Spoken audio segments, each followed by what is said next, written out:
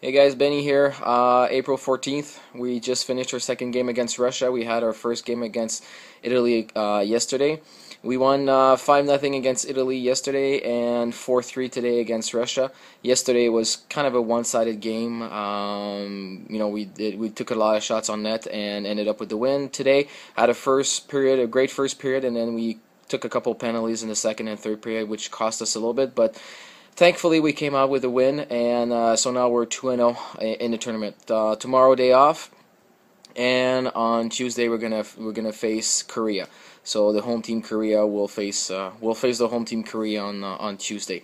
Other than that, we had the opening ceremonies a couple days ago. It was really cool. Um, good show, good food, and just took maybe a couple of minutes, maybe less than two hours, and everything was done.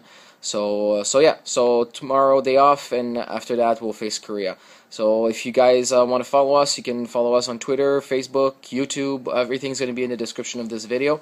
And if you have any questions, let us know. Take care, guys. Bye.